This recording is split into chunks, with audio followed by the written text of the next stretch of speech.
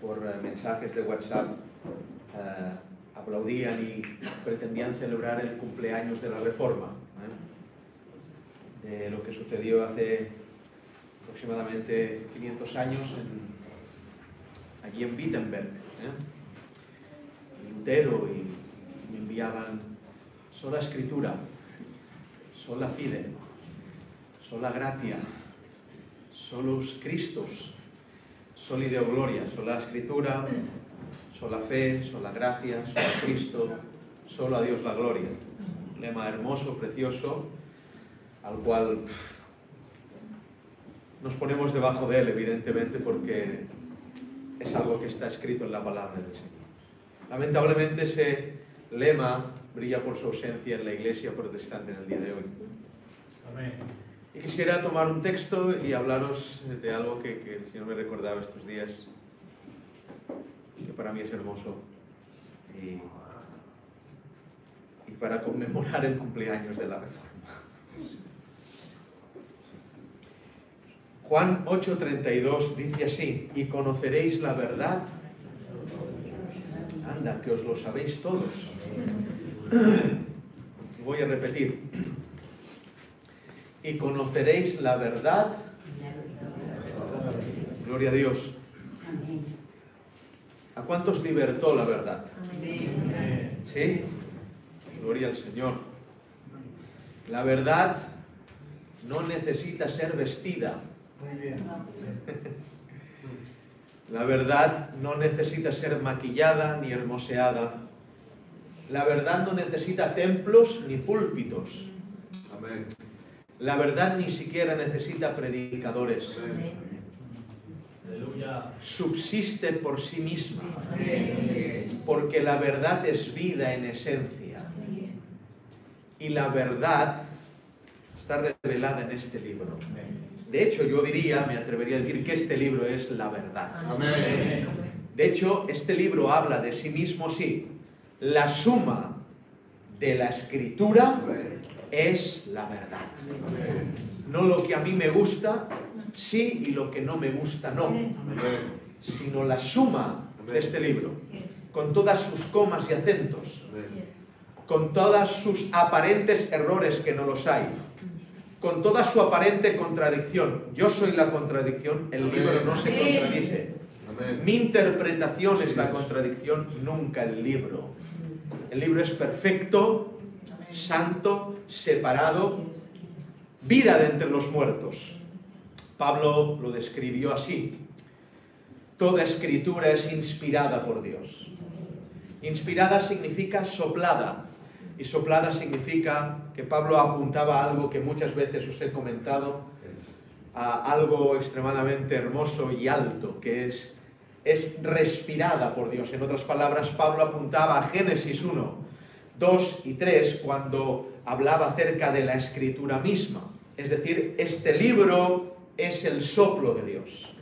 Cuando Dios sopla en Adán y creó, ¿qué hizo? un alma viviente, sopló aliento de vida. Este libro, estas letras, son el aliento de vida de Dios y cuando uno lo lee, es el único libro que cuando uno lo lee en verdad, uno no está leyendo el libro, sino el libro le está leyendo a uno. Cuando usted lee la Biblia, se lee a sí mismo. Y lo siento, este libro no habla de usted. Ni usted es el centro de este libro. Ni usted es el centro ni la admiración de Dios. Dios no tiene admiración por usted. El centro de este libro es Cristo. ¿Llegamos ya? No haría falta continuar.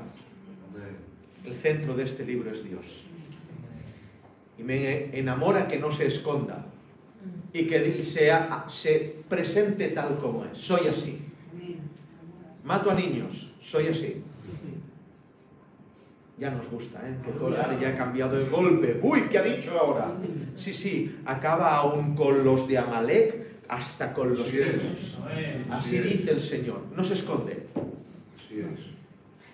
Y abre la tierra y se traga a la gente. Y no es la ira del diablo, es la ira del Cordero y se presenta así. ¿Le tienes? Y también es misericordia y perdona la ramera. Y si usted no se tiene por ramera, se equivocó de lugar. Porque aquí todos, todos lo somos. Desde las canas más blancas de el temeroso anciano de Dios, hasta los bebés que cogéis en brazos, todos pecadores, necesitados de un Salvador. Y conoceréis la verdad. Y la verdad os hará libres. No sé por dónde empezar, pero yo empiezo. ¿Libres de qué? ¿Libres del diablo? No. ¿Libres de, caer enfermos? Tampoco. ¿Libres de sufrir? Menos aún. Mi Biblia dice, me inspira el Señor, ¿eh? el Espíritu Santo me recuerda textos. Mi Biblia dice que a tenor del conocimiento se aumenta el sufrir del hombre. Es decir, cuanto más sabiduría, el hombre más sufre. Es decir, este libro si lo lees te hará sufrir. Aleluya. Pero te libertará. ¿De quién? De ti. Gloria a Dios. Es de ti. El problema de Dios eres tú. Amén. Así es. No es el diablo, está vencido. Amén. otra oportunidad. Que no es el diablo, está vencido. Despojando a los principados y potestades, los exhibió públicamente, triunfando sobre ellos en la cruz. En la cruz lo venció de una vez y para siempre. Pero la cruz se perpetúa día a día en nuestros corazones, venciéndonos a nosotros mismos. Dios sigue en guerra. ¿En contra de quién? De usted en contra de mí. Y espero que no deje de pelear. Amén. Para que termine conmigo. Amén. Aún hay mucho mar que en el mar. Mucho, mucho. Y conoceréis la verdad. Y la verdad os hará libres, les dijo el Señor en este alto sermón de los más altos que predicó nunca. ¿Libres? Le contestan. Nosotros somos hijos de Abraham y jamás hemos sido esclavos de nadie. ¿Cómo dices tú seréis libres? Si fuereis hijos de Abraham, las obras de Abraham haríais. Tengo para un rato, hermanos. ¿eh? Si fuereis hijos de Abraham, las obras de Abraham haríais. Sola gracia, sola fe pero la fe que obra. Lo creo al 100%. La fe de, que predicó Santiago. La fe que predicó Juan. La fe que predicó Pablo. La fe que obra. Fíjense, si fuerais hijos de Abraham, ¿qué? Las obras de Abraham haríais. Porque hay una relación de paternidad entre las obras de un padre. Esto es de capital importancia, hermanos, lo voy a repetir. Hay una relación de paternidad entre las obras y un padre. Es decir, ¿quién determina, qué determina de quién eres hijo? No es venir a la iglesia del camino. No es tampoco haber sido bautizado por el grandioso hermano Mark. Señor lo perdone. No es las obras que haces. Pero, pastor, no somos salvos por obras en ninguna manera. ¿O sí? Absolutamente sí. Somos salvos por obras. ¿Ahora qué estás hablando? No, pero no las nuestras. Sino las de otro que las hizo por nosotros. Por el sacrificio de otros somos salvos. Para que los salvos se sacrifiquen por él no existe otro evangelio. Y quien predique otro evangelio es maldito. Las obras manifiestan paternidad. Lo dijo Jesús en incontables ocasiones, porque conocido es el árbol por el fruto. Es imposible que un árbol malo dé buenos frutos. Y es imposible que un árbol bueno dé malos frutos. Si tus frutos son malos, no eres un árbol bueno. Amén. Amén. Si fuerais hijos de Abraham, las obras de Abraham haríais. De hecho, las obras es un tema absolutamente bíblico al 100%. No sé por qué empiezo por aquí. Dios sabrá. De hecho, en la iglesia, en el mensaje de Cristo a la iglesia dice, yo conozco tus obras. Amén. Anda, pero si a mí me han dicho que Cristo no se fijaba en las obras. Cristo aún hoy se fija en tus obras. Es. Si fueseis hijos de Abraham, las obras de Abraham haríais. Pero vosotros, les dice, sois hijos de vuestro padre el diablo y los deseos de vuestro padre queréis hacer. Es decir, dos cosas. Hay una relación entre las obras y la paternidad y hay una relación entre el deseo y la paternidad. No lo habéis entendido. Las obras determinan de quién es tu padre. Pero los deseos también. Aleluya. Amén. Porque si el deseo te lleva a la obra, ahí se manifiesta quién es tu padre. Vosotros sois hijos de vuestro padre el diablo. ¿Por qué?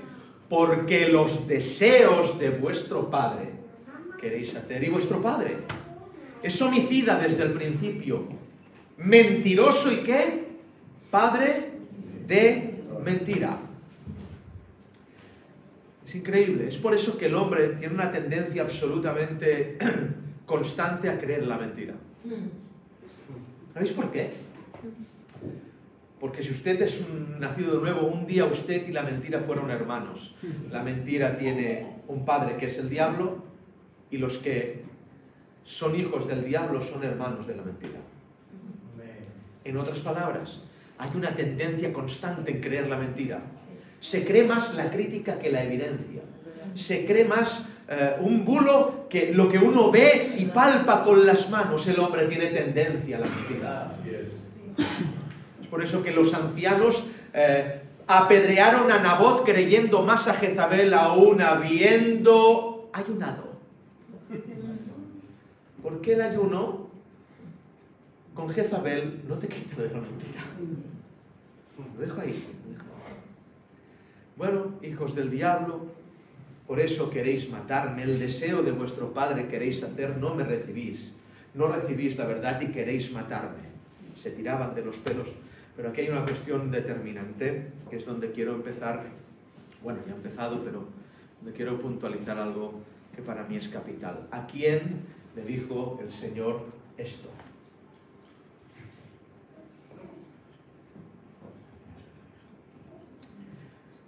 A quien el Señor habló y les dijo, y conoceréis la verdad y la verdad os hará libres.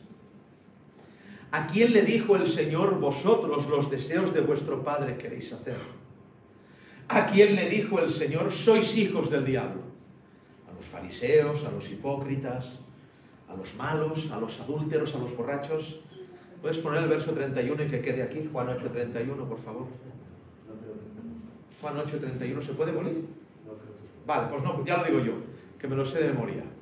Y Jesús dijo a los judíos, ah, a los judíos, esto, que habían creído en él.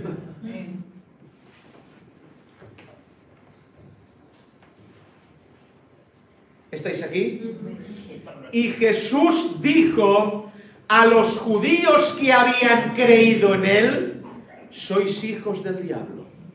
Pero a ver, Señor, tú no dices en tu palabra que el que creyere y fuere bautizado será salvo.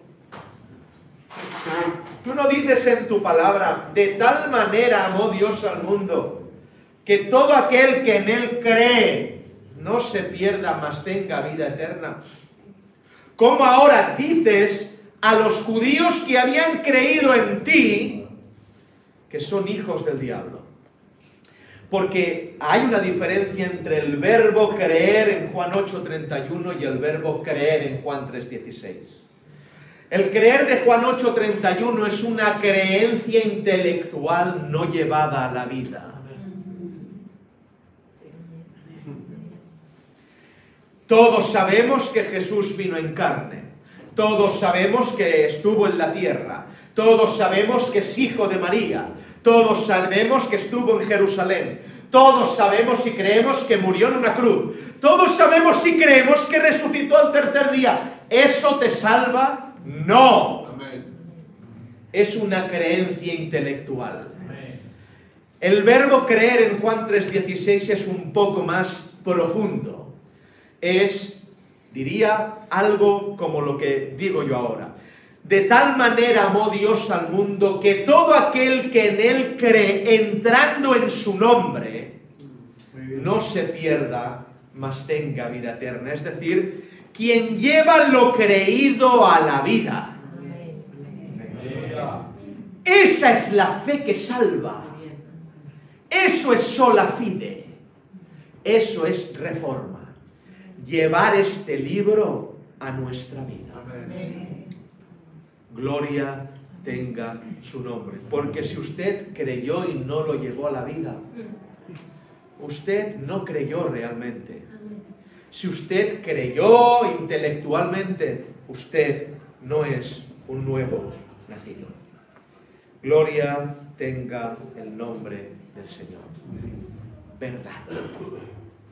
Verdad. Hay algo que, que el Señor habla en estos textos que me emociona. Cuando interpelan su conversación, sus palabras son duras, a los que habían creído en Él sois hijos del diablo, les dice, yo os hablo lo que he oído cerca de mi Padre. Muy bien. Vosotros hacéis lo que habéis visto cerca de vuestro Padre. Wow. Los judíos que habían creído en Él. Los que decían, este es el Mesías, sois hijos del diablo. Yo, dijo, os hablo, manifiesto las obras que he oído cerca de mi Padre.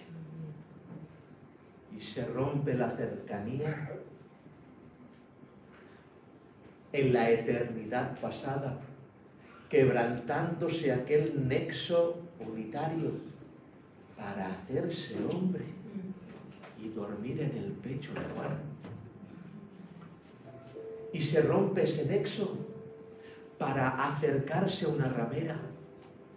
Y se, no, y se rompe ese nexo para estar aquí cerca de nosotros. Y decirnos, y conoceréis la verdad. La verdad os hará libres. Espero que también la verdad os haga libres de la iglesia del camino. Amén. Amén. Amén. Porque esto solo es un chiringuito. La verdad no cabe aquí dentro. Amén. Aleluya. Esto solo es un púlpito de madera y una burra hablando. Así es. La verdad es más que estas Así paredes. es.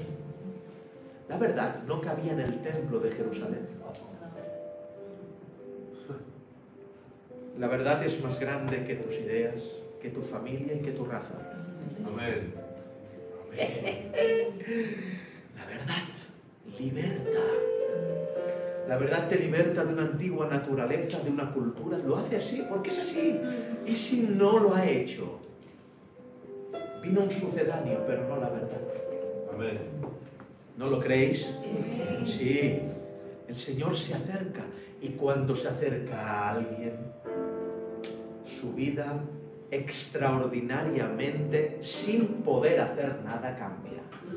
Lo voy a decir de una manera distinta. Es que no puedo ser cristiano.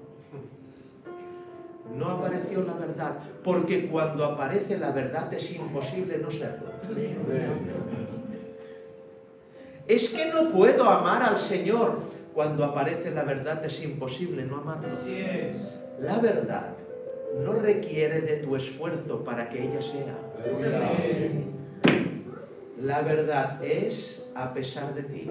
Amén. La verdad no requiere de los gritos de los predicadores. Amén. Porque por más que el diablo gritara, muerte en la cruz, un susurro de la verdad diciendo vida.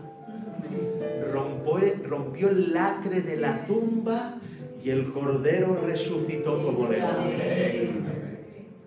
La verdad no la contienen los templos. La verdad no la encierran los libros de teología. La verdad se escapa de los labios de los teólogos y maestros.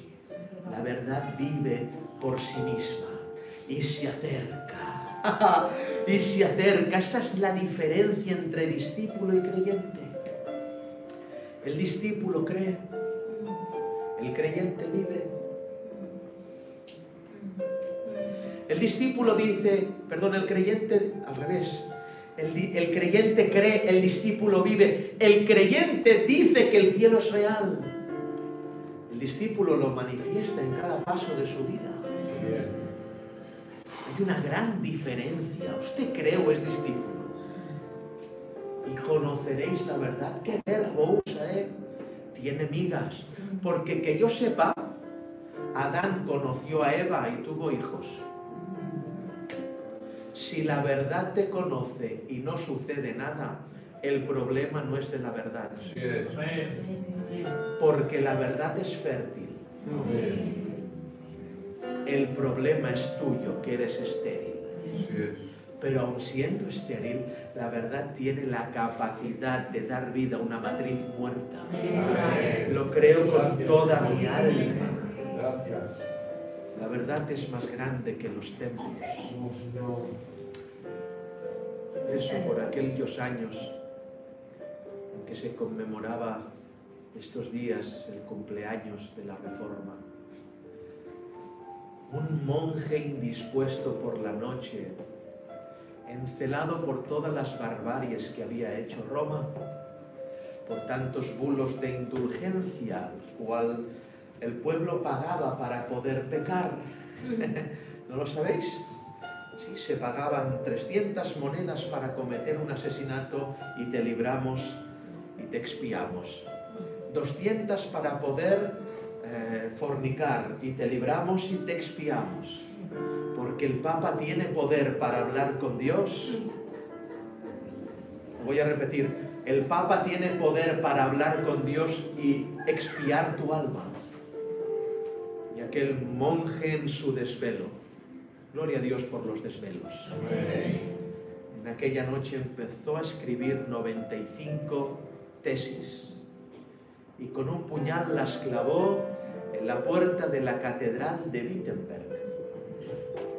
Qué lástima que no siguió desvelado. Le faltaron muchas tesis a Lutero. Le faltó la tesis del catolicismo entero. Le faltó la tesis del paganismo. Le faltó la tesis de las costumbres paganas en medio de la iglesia romana evangélica. Le faltó las tesis del catolicismo reformado. Le faltó las tesis de la idolatría en medio de la iglesia. Le faltó las tesis del marianismo. Lutero era mariano después de ser Lutero el reformador.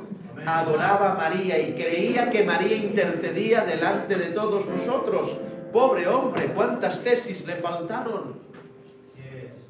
Le faltaron las tesis de no perseguir a los judíos y mandarlos a la muerte constantemente. Le faltó las tesis de no encender el nazismo en el 1900. Le faltó tantas cosas. ¿No lo sabíais? ¿Sabéis? No, no, lo sabéis. ¿Sabéis que por los bafles de Berlín, por los bafles de la Alemania, en el pre, eh, en el día antes de la noche de los cristales rotos, lo que sonaba en Polonia también, en todos los lugares cuando Hitler conquistaba, eran porciones de los sermones de Martín Lutero en contra de los judíos. La llama que encendió el nazismo fueron el antisemitismo de Lutero y tenemos que decirlo porque es verdad. Es si uno va al Museo de Jerusalén, uno alucina y lo ponen muy... eh, no muy explícito para que nadie se ofenda, pero hay que ir y verlo. Y no hace falta ir a Jerusalén, usted ponga Wikipedia y ya lo ve allí. Le faltaron muchas tesis. Y ahí la viene la pregunta, ¿no? ¿Habrá alguien hoy aquí que, que tenga puñal, pluma y papel? ¿O esto no es para vosotros? ¿No? Qué lástima que duermas por las noches y no te indigeste el bocadillo de pavo. Por ver cuántas fechorías hace la iglesia evangélica hoy. ¿No hay nadie que, que clave un puñal en su puerta? ¿No hay nadie que hable de lo que están haciendo? ¿De que hoy bailan y mañana oran? ¿No hay nadie que, hoy, que, que diga que hoy es Halloween y mañana vamos a orar y ayunar? Nadie lo hará. Porque de eso se trata la reforma. De hecho, reforma protestante. Brilla por su ausencia tal título, ni reforma, porque se reforma conforme a Lutero, no conforme a la escritura, y mucho menos protestante, porque nadie protesta. Así es. Nadie protestó cuando nos cerraron las iglesias o cerraron las iglesias en el tiempo de pandemia. Nadie protesta. Están tranquilos en sus casas mientras los hospitales del cuerpo están abiertos y el hospital del alma está cerrado. Es verdad. Todo es mentira. Amén. No existe tal cosa hoy como una reforma. No existe. Y no existe tal cosa hoy como una iglesia protestante. No existe. Existe una iglesia romana reformada, pero Roma, romana. Existe una iglesia evangélica católica. Pero no hemos salido aún de lo que Dios empezó con la indigestión y desvelo de un hombre que Dios usó. Porque estoy seguro que lo usó. Y lo que más me asombra es que aún vosotros pongáis sus frasecitas, los- las frases de los papas evangélicos hoy día en vuestros estados. Me asombra. Me asombra. Porque, porque me asombra que, que os hayáis tomado esa herencia como algo vivido hoy día. ¿El qué? La herencia católica de que los bulos de indulgencia han cambiado y creyendo que usted viene a la iglesia y que hoy ya oró, puede pecar mañana.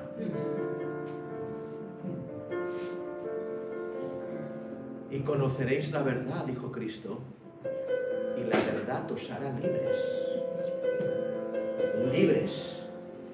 Libres.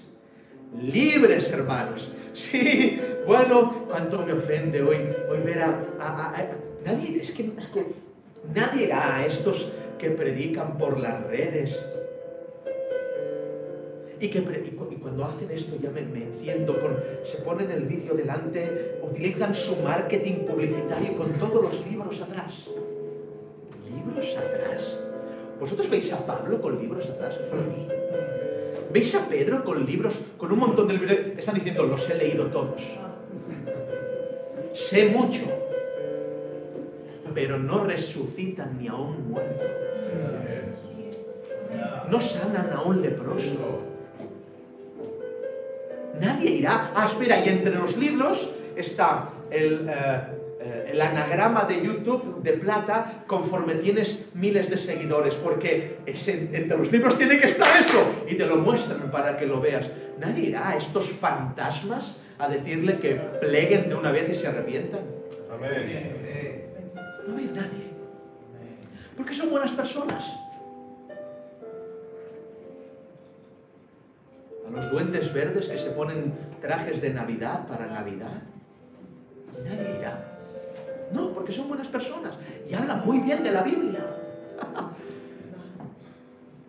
Espero que levante el Señor reformadores. Y no voy a ser yo, os toca a vosotros. Amén. Reformadores. Porque uno mayor que el templo está aquí. ¿Cuántas tesis necesita hoy la iglesia evangélica? Creo que unas cuantas más que 95. Reformadores.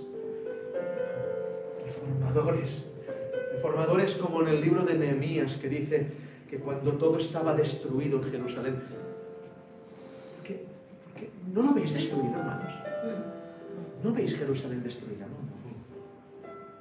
Todo estaba destruido, Babilonia había arrasado y Jeremías se propone, voy a reconstruir la ciudad santa, voy a reconstruir la casa del Señor. Pero para eso necesito que escuchéis algo, pueblo. Antes de tomar un ladrillo, antes de tomar una pala, antes de tomar nada, se puso en un púlpito y hizo así. Y empezó a leer desde Génesis los cinco libros de la Torá. Y hay un detalle que me encanta, que pudiera haber pasado de largo la Biblia, pero no pasa de largo. Dice, y estaba más alto el libro que el pueblo. Me hubiera levantado aquí hubiera dicho, sí, Señor. Estaba más alto el libro que el pueblo. Hoy esa realidad brilla por su ausencia porque el pueblo está por encima del libro siempre. Los papas están por encima de la Biblia siempre. Los predicadores por encima de la Biblia siempre. Pero cuando hay que reformar algo, el libro tiene que estar por encima del pueblo.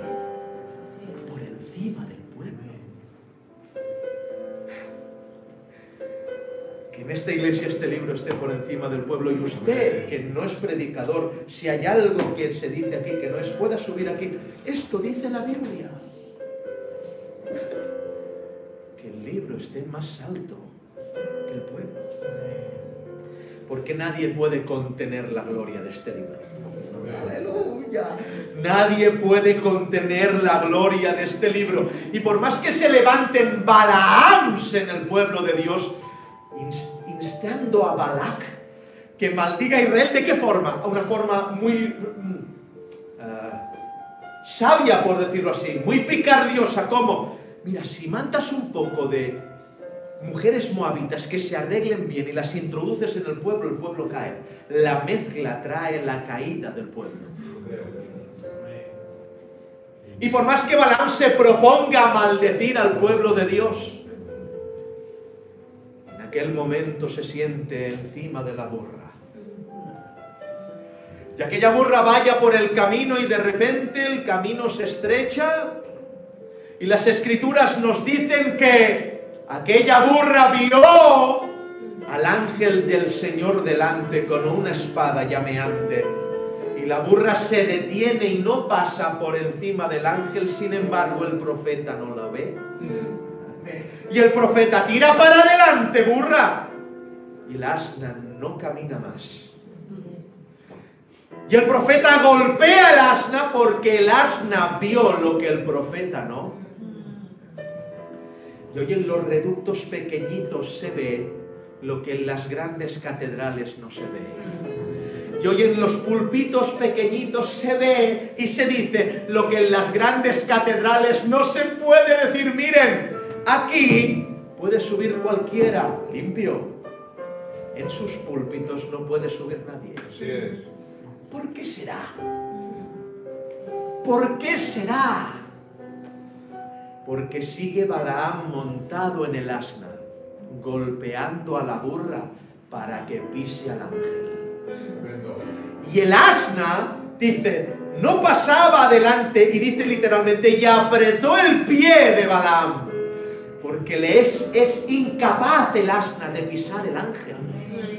Porque las burras de Dios, lo siento hermanos, no hay otra expresión, las burras de Dios no pisan la verdad. No tirarán adelante, no la traspasarán, no la pisarán, se quedarán, se detendrán. ¿Y saben qué hizo Balaam? Al ver que no avanzaba, la golpea. Así que, con todos mis respetos, burras, burros, no paséis adelante. No piséis al ángel. No piséis la verdad por más presión que Balaam nos dé. Porque presión hay, ¿eh? Vaya si hay presión, ¿eh? No digáis esto, ¿eh? No digáis lo otro, no pongáis aquí, no digáis allí. A ver lo que decís, a ver lo que hacéis, a ver lo que... ¡Ja, ja, ja! Presión hay, ¿eh? Pisad el ángel.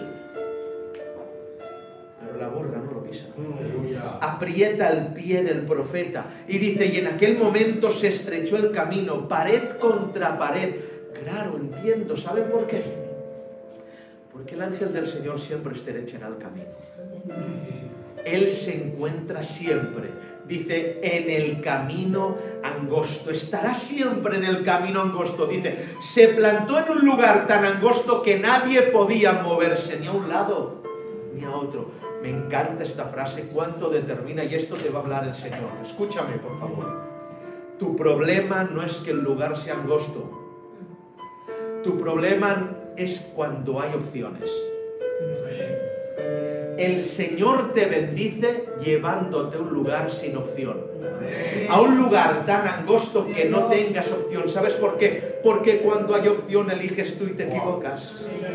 Pero la misericordia del Señor se revela en nuestras vidas, no dejándonos opciones. Gloria a Dios porque nuestra única opción sea Él. He dicho que nuestra única opción sea Él. La falta de movilidad. Es que no puedo aguantar esta situación. Es que no puedo, estoy estrecho, no puedo aguantarlo. Gloria a Dios. Porque si estuvieras a tus anchas eliges. ¿No ves la misericordia de Dios en ti? Déjanos sin opciones, Señor. Amén. ¡Aleluya! ¿Y saben cuándo Dios deja sin opciones a la gente? Es fácil, cuando se lee este libro. Amén. Mira, mientras tú no lo lees, tienes mil opciones. Pero cuando lo lees, solo tienes una, la obediencia. Solo tienes una, la obediencia. La falta de movilidad es tu salvación. Así que si estás agobiado, da gloria a Dios. Da gloria a Dios. Amén. Y el asna ve el ángel del Señor. Me emociona, no pasa adelante, no puedo, por más golpes que le dé Balaam. ¡Bum! Y otro golpe, ¡bum! ¡No puedo! Ya no puede andar a derecha ni a izquierda. Y no va a pasar adelante. Y el profeta encima del asna, golpeando, fuerte es esto, es sí, sí, sí, ¿por qué? Mm, porque los profetas van encima de las burlas. Hay una frase que dijo el Señor al profeta. Dice, si esta no se hubiera parado, digo ahora y luego da igual, si esta no se hubiera parado, ¿eh? a ella la dejo vivir y te mato a ti, pero porque se paró te perdono la vida. Porque hay un asna que se para ante el libro. Porque hay burros que se paran ante el libro, otros profetas viven. Eh, ay, no has entendido. Hay gente que sobrevive porque va montada en la oración de otro. Que va montado en los lomos de otro. Que ni, ni, ni, ni obedece, ni practica, ni ama. Pero es que va montado en los lomos de un asno. Que se paró ante el ángel. Hay oraciones de hermanas que sustentan una casa. Hay oraciones de mujeres que sustentan a un marido.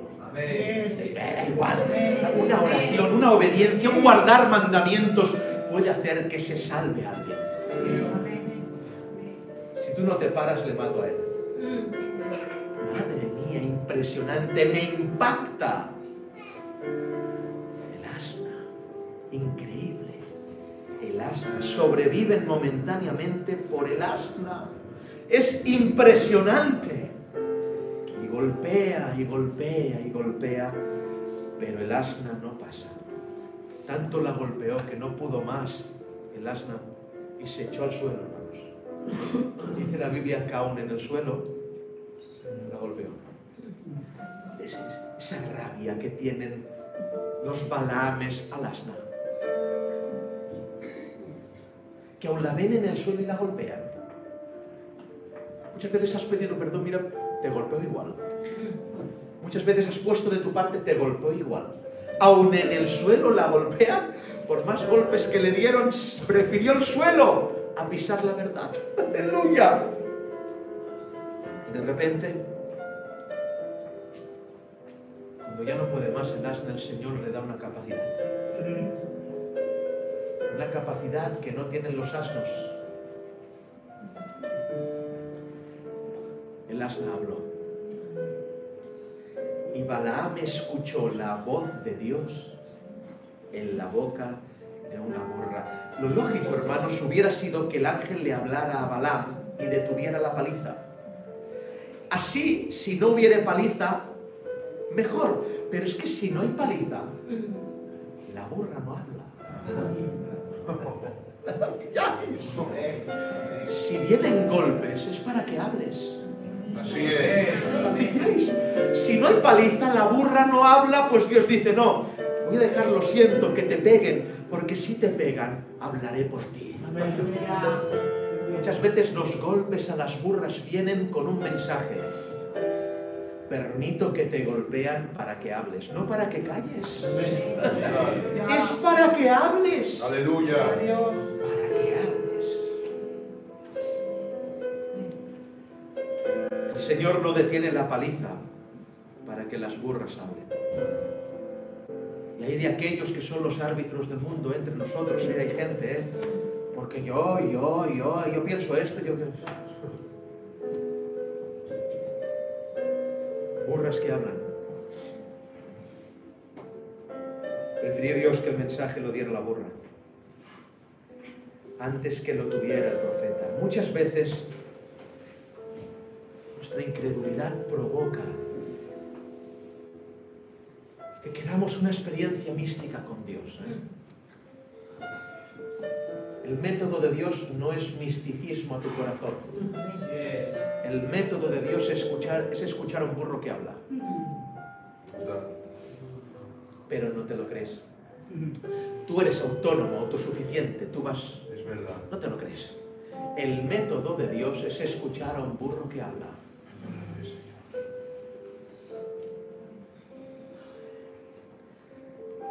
Es por esto que, que- que- que en este tiempo de tanto caminar, 10 años de iglesia, vienes pensando cuánto te han tratado, cómo han hecho, cómo han, muchas veces bien, pero cuando ha habido un momento en el que nosotros como iglesia hemos tenido que enseñar algo a los demás, no permiten que alguien étnico y analfabeto les enseñe. ¿Saben que para, para ser pastor en, en- en la mayoría de iglesias serias hay que tener un seminario? ¿Saben que para ser pastor aquí hay que ser un esclavo? Aleluya. Gloria a Dios. Y si no tienes un seminario, no, puedes, no te escuchamos ya. Yo no tengo seminarios, hermanos. Por eso, oh, ¿cómo predica el mar? Pero, pero hermanos, ¿y estos qué hacéis? Uy, ya no. Eres muy morenito. Ya no me gustas. No lo permitirán. Y he discernido esto constantemente. Constantemente. Constantemente. Pero ¿cómo puede ser esto? Hay algo que, que me impacta porque cuando, cuando Balaam ve la burra hablar, no se impresiona. ¿Os imagináis ir al zoo y ver un burro hablar? Balaam ve la burra, la golpea, habla y no dice, ¡ay, Dios mío, qué es esto! No, no se impresiona, no se impacta. ¿Y cuánto me habla Dios de esto acerca de lo que sucede hoy día? ¿Por qué? Porque no recibirán el testimonio de una burra hablando. No se impactarán de que una burra hable. No se impactarán de la voz de Dios en un analfabeto. No se impactarán del Espíritu del Señor en alguien que no sabe hablar. El apóstol Pablo dijo así, quiero ir a Jerusalén a predicar. No, vete a Roma. Quiero ir. No recibirán tu testimonio. No recibían ni el testimonio de Pablo. Hay gente aún que dice por ahí fuera que hay cositas, ¿eh? Sí, la iglesia el camino, pero hay cositas. Señor le pague conforme a sus obras, porque no recibirán el testimonio de los limpios. Está escrito en la palabra del Señor. Amén. Golpea, y le vuelve a golpear, y le vuelve a golpear. ¿Y saben qué me habla todo esto? Y termino ya aquí. Que si protestamos y damos gracias al Señor por aquel día en que aquel monje estuvo desvelado tantas horas escribiendo las 95 tesis. es por una realidad. No somos el fruto de nuestro estudio ni el fruto de nuestros méritos. La iglesia del camino existe por el defecto de otros. Eso nos quita toda gloria. No estáis aquí, qué pena, hermanos. Lo voy a repetir. Eso nos quita toda gloria. Existimos porque otros fallaron. Entiendo la soberanía de Dios que de alguna manera, si Saúl no recoge los cerdos de Amalek, no sale un David. ¿Lo pilláis? Lo voy a repetir. Si no recoge la inmundicia, no hubiera habido un David. Pero porque gente ha recogido cerdos, hay muchachos matando gigantes. Para la gloria y honra del Señor. Gloria tenga su nombre. ¿Cuántas asnas aquí? Pasa el tiempo, hermanos, y, bueno, la asna no se habla más de ella, habló. Una ocasión, viendo el tiempo, el, el, tiempo se habla de otro burro que llevó a un tal Absalón a un bosque cuando era enemigo de David y no sé por dónde lo llevó la burrita que lo hizo que se enganchara con los cabellos y Joab pudiera matarlo. Tienen virtud las asnas, ¿eh? Las asnas se encaminan a los traidores para que sean muertos. Pero pasan los siglos y los tiempos. Jerusalén está en su pompa y en su gloria. En la mayor gloria de la historia, el templo lleno, los sacerdotes, caballos corceles. Y en un día les dice el Señor a sus discípulos, un maestro, un rabí, que le seguían doce y uno traidor. Tenían dónde recostar su cabeza, de vez en cuando iban a Betania, descansaba y se iba a predicar itinerantemente, no tenía seminarios. Pero dijo, y conoceréis la verdad. Y la verdad os hará libres. Vamos a matar, lo sé, pero no dejaré de deciros lo que es. ¿Qué quieres, maestro? Vayamos a Jerusalén, sí, pero antes les dice, id aquí a la aldea de enfrente, a Betfagé. Un hombre que tiene una burrita pequeña que nadie la ha montado jamás. Bueno, pero si entramos ahí y le decimos que, que, que quieres la burra, que, que, le queremos decir, se la compramos, se la pagamos. ¡No! Decidle que el Señor la necesita. Madre mía, qué frase, hermanos. Y no hizo el rey su entrada triunfal en Jerusalén con corceles blancos como los de Salomón, sino puso su manto, su talit, en el lomo de una burrita. Y entró en Jerusalén porque prefiere el Señor una burra limpia que nadie la ha montado jamás que mil corceles blancos que tienen otros dueños.